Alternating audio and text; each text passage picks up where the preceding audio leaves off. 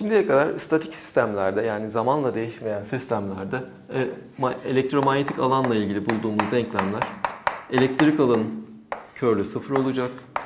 D alanının diverjansı 4pi rho'ya eşit olacak. B alanının diver- diverjansı sıfır olacak ve B alanının körlü 4pi bölü H alanını tanımlamıştık.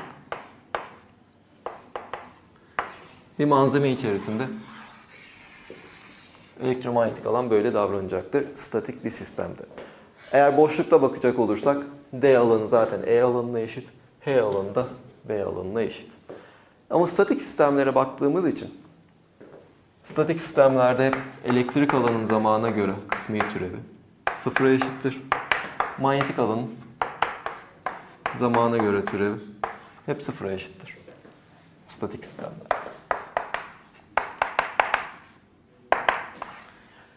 Dolayısıyla bu denklem, şu yukarıdaki dört denklemin statik olmayan bir sistemde geçerli olup olmadığını bilmiyoruz. Ee, geçerli değilse bu terimlere elektrik ve manyetik alanın türe, bu denklemlere elektrik ve manyetik alanın türevlerini içeren ekstradan terimler gelebilir. Bunlardan ilki Faraday tarafından yapılan bir gözleme dayanan eğer siz bir teli alır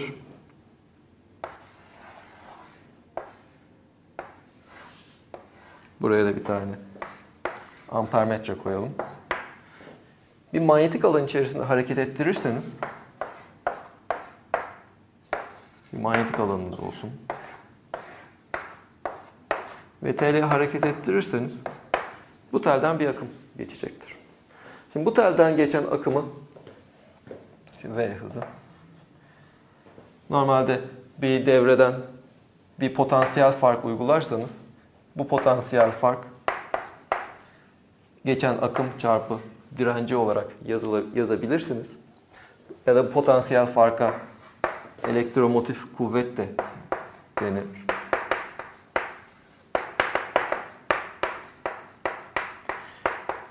Temel olarak bu V dediğimiz şey dirençlerden vesaire olan enerji kaybını bir tarafa bırakırsak birim yük devre boyunca bir defa dolandığında ne kadar enerji kazanıyor? Kazandığı enerjidir. Ya da bir pille enerjiyi sağlarsak sonuçta e, pilin bir tarafından öbür tarafına geçerken enerji kazanacaktır sadece bu birim yok. Pilin bir tarafından öbür tarafına geçerken ne kadar enerji kazandığının bir ölçüsüdür. Ve Faraday'ın deneylerinde gördüğü şey bu V'nin bu devrenin içerisinden geçen manyetik akının zamanla değişimiyle orantılı olduğudur. Burada fi dediğimiz şey Vedat veya A dediğim alan bu devrenin içerisindeki yük. Şimdi bunu şuradan da açık görmek mümkün. Böyle bir şey olması gerektiğini. Eğer biz teli hareket ettirirsek Şimdi telin içerisinde işte atomlar iletken olduğu için işte at sabit atomlar, prot çekirdekler ve serbest olan akımı ilet iletebilen elektronlar olacaktır. Elek teli hareket ettirdiğimde bütün hepsi manyetik alanın içerisinde hareket ettiği için belli bir kuvvet hissedecektir. Ancak e, çekirdekler sabit olduğu için bir yere hareket edemeyecek. Oysa elektronların hareket, elektronlar hareket etmekte serbest olacaktır ve elektronlar tel etrafında hareket etmeye ve bir akım yaratmaya başlayacaktır. Şimdi bunu çıkarabilmek için bir yükü etki eden kuvvetten başlayabiliriz. Belli bir Q yükümüz olsun. Manyetik alanda bir V hızıyla gidiyorsa bunu etki eden kuvveti bu şekilde yazabiliriz. Şimdi bu telin tamamından ziyade küçük bir parçasına bakalım. Şuradaki. İşte ds ile gösterelim bu parçayı. Bu parça V hızıyla hareket ediyor olsun. Ve parçanın içerisindeki tek bir yüke bakalım. Şimdi bu yük kuvvetimiz bu. Belli bir yükü Q yükünü buradan diğer tarafa taşıdığımızda Q yüküne yapacağımız iş Q bölü C ve.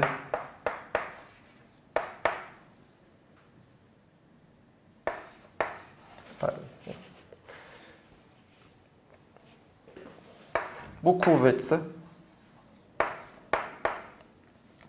dx kadar hareket ettiyse şayet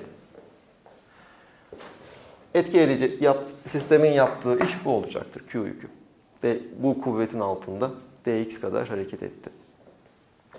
Ve yüke bir tam tur tamamlarsak eğer kazanacağı toplam enerji daha önce V ile gösterdiğimiz bunun integraline eşittir.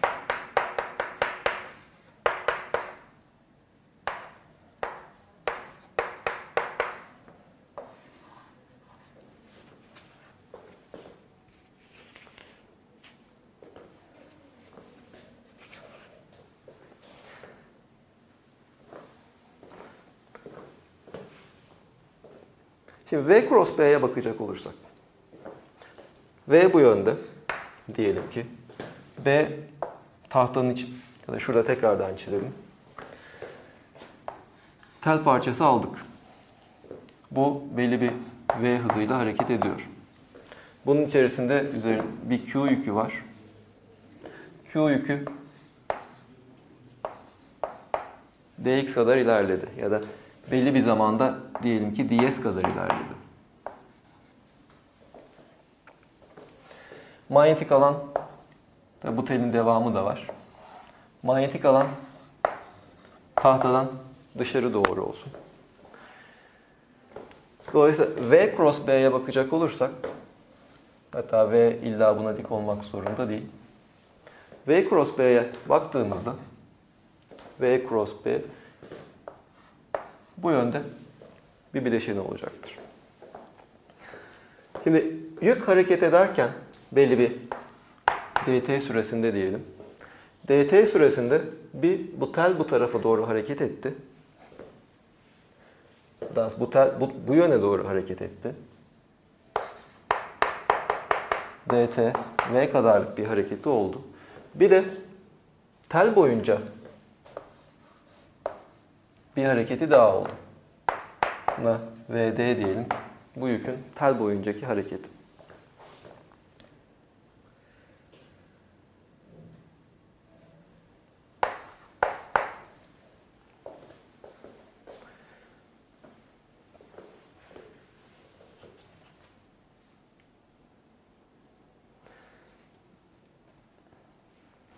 Yükün hareketi bu. Şimdi geri dönersek bu V 0. V şuraya koyduğumuzda bu V V cross B'ye dik olduğu için skalar çarpıma bir katkı getirmeyecek. O zaman biz bu V'yi Q bölü C V cross B V'de dt olarak yazabiliriz. VD dt ise tel boyuncaki hareketinden başka bir şey değildir. Şimdi dt'yi öyle seçmiştik ki bu ds uzunluğu boyunca hareketiydi. Yani şurası aslında bizim bu seçtiğimiz küçük parça boyuncaki hareketiydi. Bu vd dt aslında ds'ten başka bir şey değil. Eşittir q bölü c v cross b skalar çarpım ds olacaktır.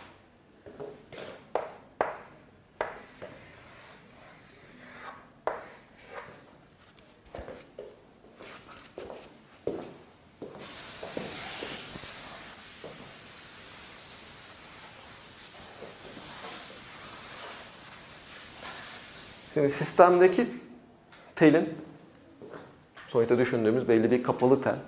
Onun içinden geçen akıma baktığımız zamansa bu akım B'den ds o VA diye tanımlamıştık. Bütün yüzey üzerinden manyetik alanın yüzeye dik olan bileşenlerinin toplamı. Şimdi bizim telimiz işte şu tel parçasını aldık. Bu yönde bir VDT V delta T kadar hareket etti. Burası da diğer ucu da bu yönde hareket etti. Bizim alanımız bu hareketin sonuçta delta t kadar süre sonunda bu kadar değişmiş oldu. Buradan geçen belli bir akım var. Belli bir manyetik akı var. O manyetik akı yani bu kadarcık bir parçadan kaynaklı manyetik akıdaki değişim bize neyi verecektir? Buranın alanı delta A manyetik alanın bu delta A yönündeki kısmını verecektir. Şimdi delta A dediğimiz yön olarak burası ds ise telimiz bu yönde akımımız bu yönde gittiği için kapalı olarak düşünürsek şuradaki yönümüz alanımızın yönü dışarı doğru. Şimdi burada bu delta A vektörünü dışarı doğru olması için yani V cross ds yönünde olması lazım. V delta t cross ds olarak yazabiliriz. Bu boyut olarak da bu alanın boyutuna eşittir. Yön olarak da bu alanın yönüne eşittir. Dolayısıyla şuradaki tel parçası bu kadar yürüdüğü zaman, bu kadar hareket ettiği zaman benim flux'ımdaki e, manyetik akımdaki değişim B skalar çarpım V vektörel çarpım ds delta t kadar olacaktır. Birim zamandaki değişime bakacak olursam bölü delta t bölü delta t bunlar da sadeleşti. Dolayısıyla sadece buradaki küçük tel parçasının hareketinden dolayı telin içerisinde kalan manyetik alanın birim zamandaki değişimini bu şekilde yazabilirim. Küçük bir tel parçası olduğunu belirtmek için buraya da d fi diye gösterelim. Şimdi buraya baktığımızda bu çarpımı şuradaki çarpıma benzetmek istersem böyle bir çarpımda biliyorum ki ben bunu B sırayı değiştirmemek kaydıyla istediğim gibi kaydırabilirim.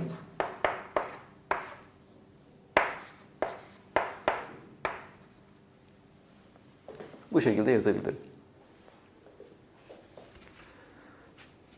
Sırası yine aynı B ve DS, B ve DS olmak üzere.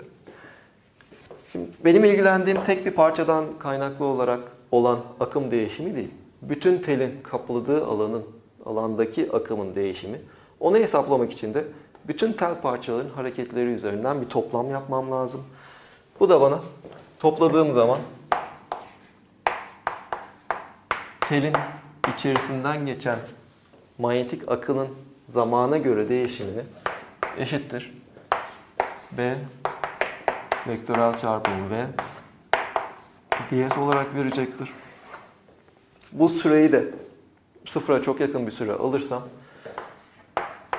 akının zamana göre türevini eksi bütün kapalı çember boyunca V cross V zat ds olarak yazabilirim. Buradakini kıyaslayacak olursak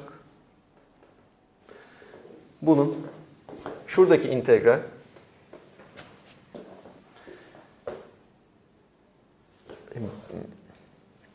V bölü Q, V'yi tanımlarken burada bir hata yapmışız.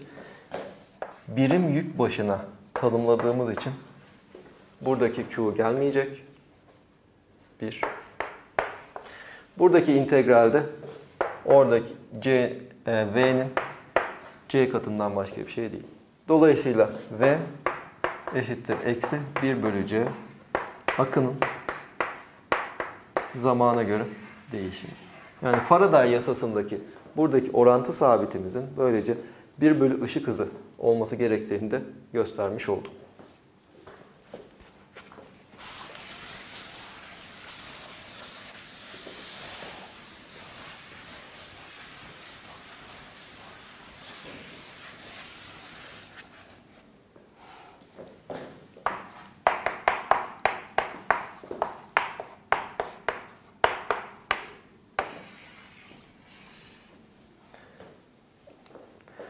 Burada hemen akla şöyle bir soru gelebilir. Bir manyetik alanımız var. Manyetik alan çizgileri tanımlayabiliriz. Sadece bir tel parçası aldık. Manyetik alanı sabit olduğunu kabul ettik burada. Manyetik alan sabitti. Tel parçamızı bu sabit manyetik zamanla değişmeyen manyetik alan içerisinde hareket ettirdik. Ama biz de kendimiz de tel parçasıyla beraber hareket edebilirdik. E, tel parçasıyla beraber hareket ediyor olsaydık bize göre manyetik alan çizgileri kayıyor olacaktı. Ve e, görelilik kuramı hem Einstein'ın hem Galileo göreliliği bize diyor ki eğer sabit Newton'dan da hatırlarsanız eğer sabit hızla giden bir referans sistemindeysek bütün fizik yasalarının aynı olması lazımdı. Dolayısıyla bu yasayı buradaki akıyı, akıdaki değişimi hem istersek telin hareketinden kaynaklı işte tel büyüyebilir, daralabilir ya da yüksek manyetik alanın olduğu bir bölgeden alçak daha az manyetik alan olduğu bir bölgeye hareket edebilir. Ondan kaynaklı akıdaki değişime bağlayabiliriz. Ya da telimiz sabittir. Ama manyetik alan çizgileri telin üzerinden telin içine, telin kapsadığı alanın içine ya da dışına hareket ediyordur. Ondan kaynaklı olarak da bu akıyı düşünebiliriz. Çünkü akı dediğimiz şey manyetik alan çizgileri cinsinden aslında bir bakıma e, belli bir alanı kesen manyetik alan çizgilerinin sayısından başka bir şey değildir. Eğer biz manyetik teli sabit alır, manyetik alan çizgilerini telin içerisine taşırsak değişik yönlerden buradaki bir manyetik alan çizgimiz içeri girsin, şuradan içeri girsin, şuradaki manyetik alan çizgimizi, buradaki bir manyetik alan çizgisini bunları içeri taşıdığımızda burada zaten belli bir miktar manyetik alan çizgileri var. İçeri taşıdığımızda içerideki manyetik alan çizgi sayısı artacak. Akım art, akı, manyetik akı artacak. Ama alan değişmediği için bu sefer manyetik alan çizgilerinin yoğunluğu artacak. Manyetik alan çizgilerinin yoğunluğu ise bize manyetik alanın şiddetini verdiğini hatırlarsak eğer içerideki manyetik alanın şiddetini arttırırsak yine belli bir elektromotif kuvvet elde ederiz. İster teli oynatalım, ister manyetik alanı değiştirerek. Tabi bu durumda, bu ikinci durumda yani biz telimizi artık hareket ettirmiyoruz. Şimdi telimizi hareket ettirmiyoruz. Manyetik alan çizgilerini içeri alıyoruz veya içerideki manyetik alanı arttırdığımızı varsayalım. Bu bize diyor ki, Lenz-Faraday yasası, bu bize diyor ki e, yükler artık hareket etmeye başlayacak diyor. Ama bizim buradaki bütün çıkarımımız yüke etki eden bir kuvvete dayalıyor, dayanıyor. Eğer telim hareket etmiyorsa e o zaman bir kuvvet, bir hız da olmayacak. Hız olmayacağı için bir kuvvet de olmayacak. O zaman teldeki yükler nasıl oluyor da hareket edecekler. Şimdi eğer hızı sıfırsa bir yükü etki edebilecek tek kuvvet bir elektrik alandır. Elektrik alan yoksa durağan bir yüke herhangi bir kuvvet etki etmez. Buradan da diyebileceğimiz eğer bu yasa doğruysa ki deneysel olarak da doğru olduğunu biliyoruz. O zaman manyetik alanı değiştirdiğimizde bir ekstradan bir elektrik alanı da yaratmamız gerekiyor. Bu yaratılan ekstra elektrik alanına indüklenme elektrik alanı diyebiliriz. Ve V dediğimiz şey aslında bu indüklenme elektrik alanının belli bir kapalı eğri boyuncaki integralinden başka bir şey değildir. Ve bu yasamıza geri döndüğümüzde indüklenme elektrik alanının kapalı bir eğri boyuncaki integrali eşittir. Eksi 1 bölü c d bölü dt manyetik alanın bu eğrinin kapsadığı sınırlandırdığı alan üzerinden integraline eşit olması lazım. Bunu bir kapalı bir eğri üzerinden integrali bir alan integralini çevirebiliriz. Bunun için de curl of E dA olarak yazabiliriz. Bu da bize der ki bu herhangi bir alan, herhangi bir kapalı eğri için dolayısıyla herhangi bir alan için doğru olmak zorunda. Dolayısıyla bir sistemdeki elektrik alanının körlü Hatırlarsanız elektrostatikte curl her zaman için sıfırdı. Elektrik alanının curl'ü 1 bölü C manyetik alanın zamana göre türevine eşit olmak zorunda.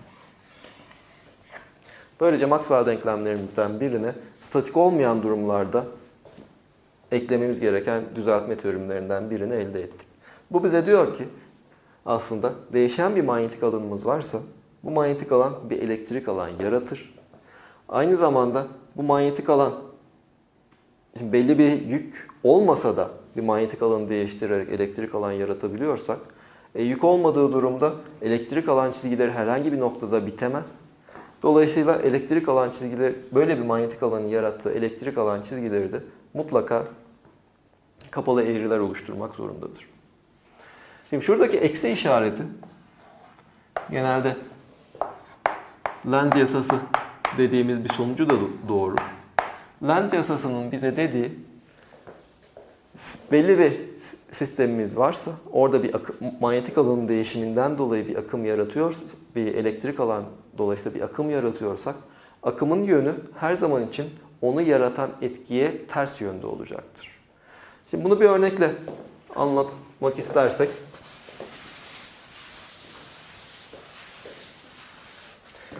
farz edelim ki halka şeklinde bir iletkenimiz var. Bunu homojen bir manyetik alan içerisine koyduk.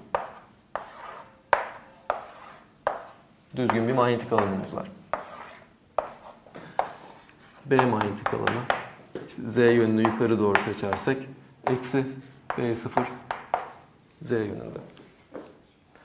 Şimdi buna etki eden, bu alanın içerisindeki toplam akıyı hesaplayacak olursak manyetik akı ne olarak verecek? B dat skalar çarpım dA'dır. Şimdi manyetik alanın pozitif yönü artı z yönünde.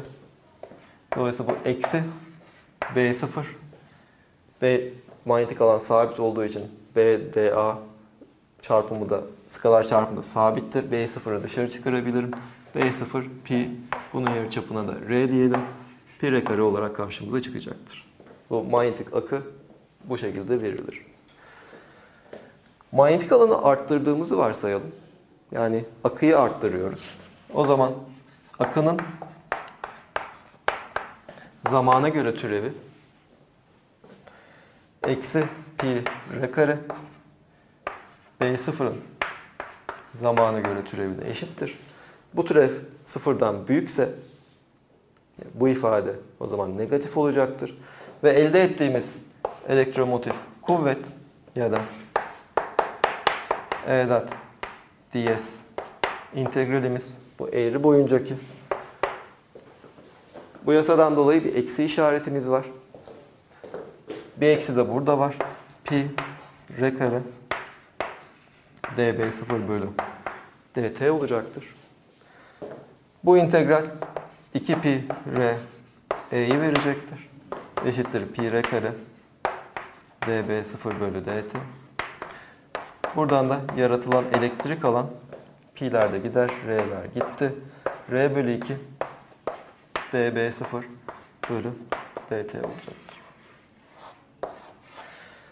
Şimdi yaratılan elektromotif kuvvetin pozitif olması demek. Şimdi biz pozitif z yönünü bu yöne seçtik. Dolayısıyla akımın pozitif yönü bu yönde bir akım oluşacaktır. Akım bu yönde bir akım ise yukarı yönde yine sağ kuralıyla yukarı yönde bir manyetik çift kutup ya da yukarı yönde bir manyetik alan oluşturacaktır. Dolayısıyla ne olmuş oldu? Eğer biz manyetik alanı arttırıyorsak içeriden geçen manyetik alan çizgilerinin sayısı artmaya başlıyor. Yani bu içerideki manyetik alan artmaya başlıyor. Bunun sonucu olarak burada bir akım oluşuyor. Akımsa içerideki manyetik alanı azaltmaya çalışıyor. Yukarı yönde ekstradan bir manyetik alan e, yaratacaktır. Dolayısıyla içerideki manyetik alan artışı buradaki manyetik alan artışından daha az olacaktır. Lenz yasasının söylediği temel olarak budur. Bir akım yaratılıyorsa mutlaka onu yaratan etkinin tersi yönde olmak zorunda. Benzer bir örneği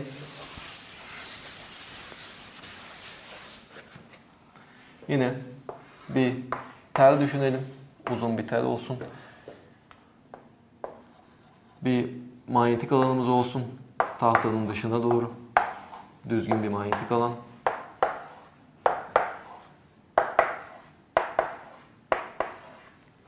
Burada da bir çubuk düşünelim. İletken metal ve iletken çubuğumuz var.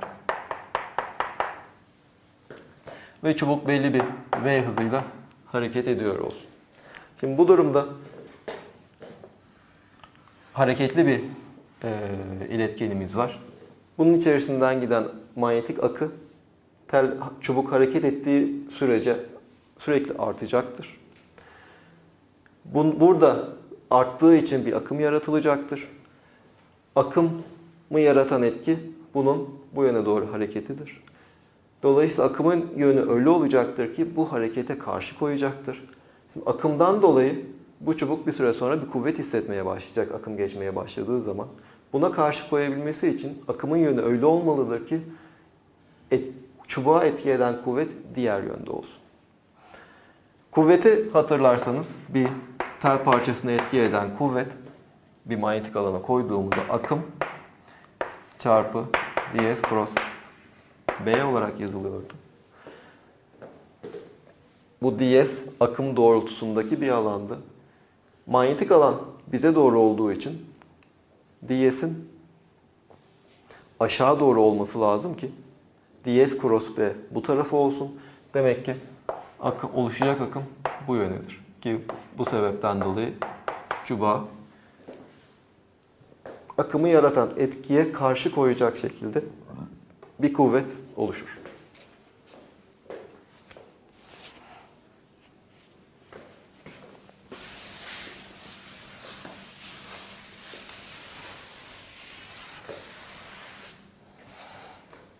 Böylece Maxwell e, elektromanyetik alanın sağladığı denklemlerden biri. Bu önceden sıfırdı. Şimdi ise 1 bölü C dB bölü dt D alanının diverjansı 4 pi rho B alanının diverjansı 0 H alanının körlüğü ise 4 pi bölü C Şimdi denklemlerimiz hala tutarlı değil. Şimdi başka neyi biliyoruz? Ee, yüklerin korunduğunu biliyoruz. Yük korunuyorsa şunu göstermiştik süreklilik denklemini. Yük yoğunluğunun zamana göre türevi artı yük akımın diverjansı belli bir noktadaki bu mutlaka sıfır olmak zorunda.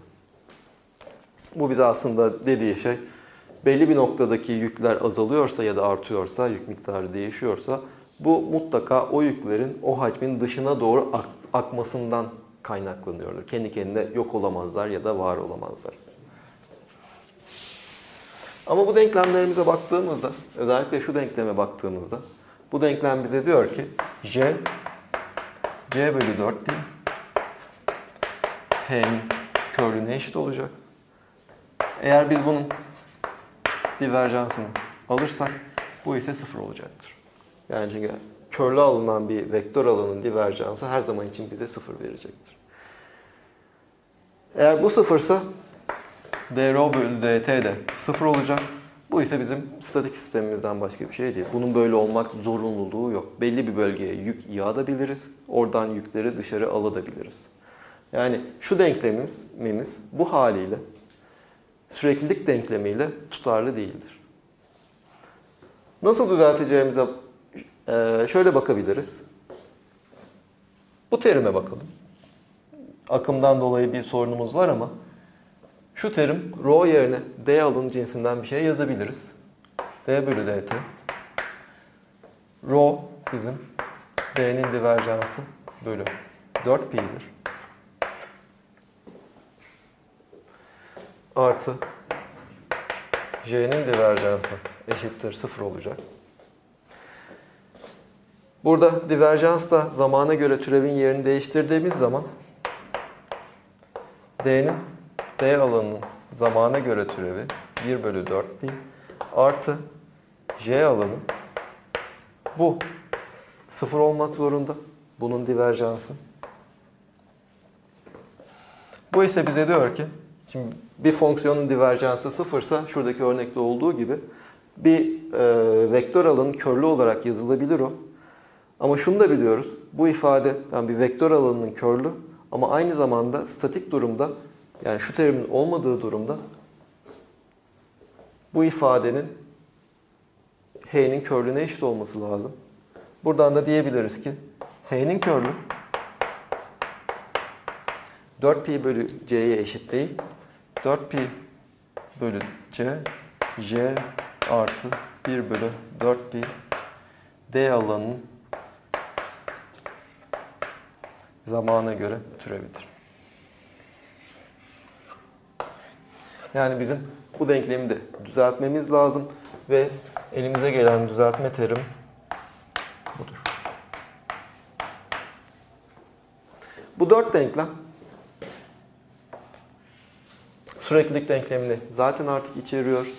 Artı bir de kuvvet büyük yükleri etki eden kuvvet denklemini yazacak olursak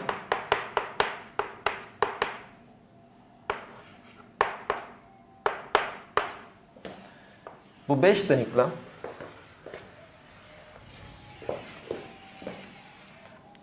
bütün elektromanyetik alanın ve yüklü parçacıkların bu alandaki nasıl davrandığını belirleyen beş denklemdir. Bu dördü elektromanyetik alanı belirler ve Maxwell denklemleri olarak bilinir.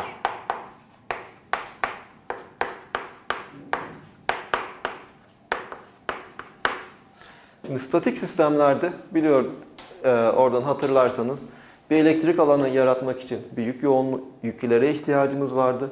Bir manyetik alan yaratmak için de bir yük akımına ihtiyacımız vardı. Oysa bu ekstradan gelen düzeltmeler bize söylüyor ki elektrik alan yaratmak istersek manyetik alanı da değiştirebiliriz. Değişen bir manyetik alan da elektrik alan yaratacaktır. Aynı zamanda değişen bir elektrik alanda bir manyetik alan yaratacaktır. Şimdi bu terimin ne olduğunu anlamak için yine bir örneğe bakalım.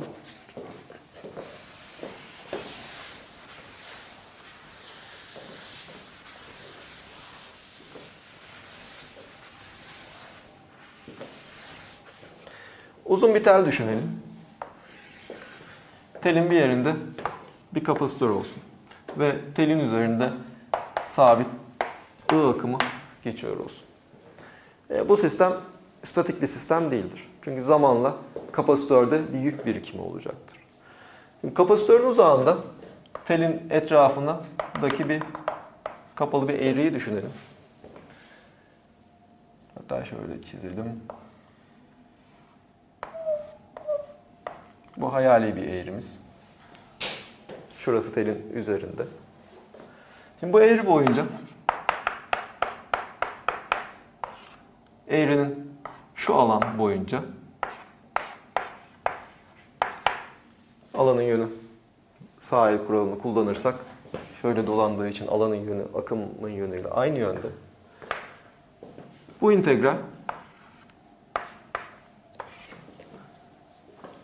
Şimdi bu alan içerisine bakacak olursak herhangi bir yerde bir elektrik alan yok. Elektrik alan sadece kapasitörün içerisinde ve civarında var. Biz çok uzakta olduğumuz için bir elektrik alan yok. 4pi bölü c j da'ya. Bunu bir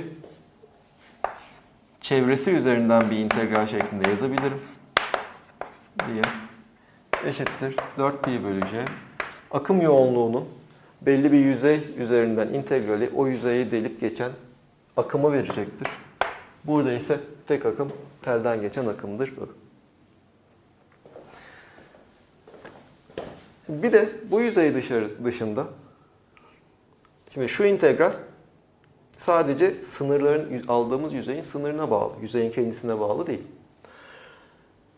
Sınırı bu olan Şöyle bir yüzeyde düşünelim. Uzadığı bir torba gibi. Kapasitörlerden birinin kapasitördeki plakaların arasından geçti ve geri döndü. Bu integral değişmeyecektir. Şimdi diğer tarafa baktığımızda bu yüzey 2 için şu S1 yüzeyi olsun. Bu benim S2 yüzeyim olsun. Aynı H dot ds integrali. Çünkü bu integral sadece bu yüzeylerin sınırı üzerindendir. Şuradaki sınır üzerinden. Yani 4 pi c bölü i'ye eşit. Şimdi diğer taraftan şimdi bu S2 yüzeyinde artık bir akım yok. Yani eğer şu terim olmasaydı 4 pi bölü c i sıfıra eşit olması gerekirdi ve anlamsız bir şey çıkacaktı. Oysa bu terimi koyduğumuzda ne çıkacak bize? 1 bölü c d alanının zamana göre integrali a yüzeyi üzerinden bu eşittir 1 bölü c d bölü dt d d alanının yüzey üzerinden integrali. Şimdi eğer d alanını kapalı bir yüzey üzerinden integralini alıyor olsaydık şuradan biliyoruz ki kapalı bir yüzey üzerinden integral olsaydı bunu bir hacim integraline dönüştürebilirdik. Hacim integrali de rho'nun hacim integrali olacaktı. Ama buradaki integralimiz S2 yüzeyi üzerinden. S2 yüzeyin S2 yüzeyin ise kapalı bir yüzey değil. Şurada bir açıklığı var. Şimdi o zaman bunu şöyle bir hile yapabiliriz. 1 bölü c d bölü dt S2 yüzeyini kapatırız. Yani S2 eksi S1 yüzeyi. Eksi S1 seçmemin sebebi şimdi bu seçtiğim yön için alan bunun şu yönde. S2 yüzeyin alanı bu yönde. S1 yüzeyin alanı ise içeri yönde. Neyi? Ters çevirdiğim zaman. Eksi, ters çevirdiğimi göstermek için eksi S1 yüzeyini yerleştirdim. Şimdi buna artı eksi 1 bölü c d bölü dt eksi S1 yüzeyi boyunca d alanının integrali.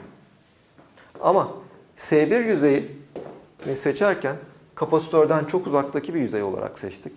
Kapasitörden çok uzaktaki bir yüzey olduğu için D S1 yüzeyinde zaten sıfır. Dolayısıyla buradan artık bir katkı gelmeyecek. Elimizdeki gelen tek katkı bu. E bu katkıya bakacak olursak bu artık kapalı bir yüzey üzerinden bir integral. Ve D alanının kapalı bir yüzey üzerinden integrali içerideki toplam yükü verecektir. 1 bölü C d q içindeki bölü dt.